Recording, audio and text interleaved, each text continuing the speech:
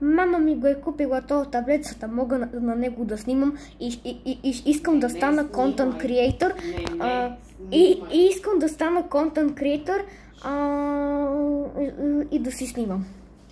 Добре, ще видим колко ще снимаш с този таблет Content Creator. Обаче странното е защо а, както друг, iPhone-ите и iPad-ите правят таблетите и iPhone-ите да бъдат с малко повече памет, като компютрите, примерно 258 гигабайта.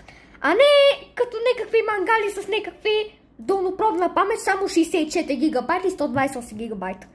Ама това е защото изтеглям повече памет игри и то така се насъбира а, максимум памет там а, заради Storage Access, Game Access, Game Storage Access се нарича.